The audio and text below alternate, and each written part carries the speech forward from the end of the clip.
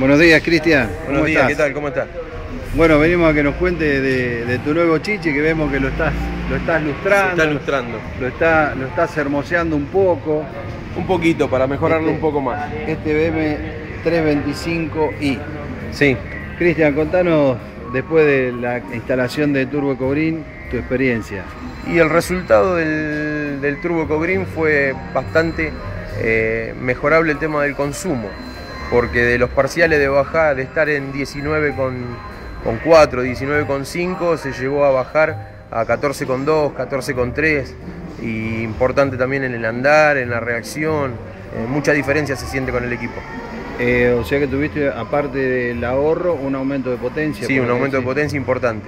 Impor- No se puede decir de cuánto, ¿no? No, No, habría que banquearlo el auto para saber de cuánto es. Pero la diferencia se nota muchísimo en la aceleración. Tanto parado o como andando en velocidad también se nota. Arrancando de cero. Arrancando de cero o en velocidad se nota mucho la diferencia.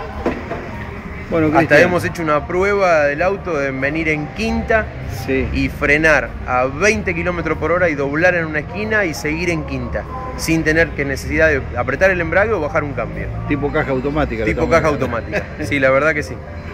Bueno, Cristian, te agradecemos. No, por favor, hasta luego.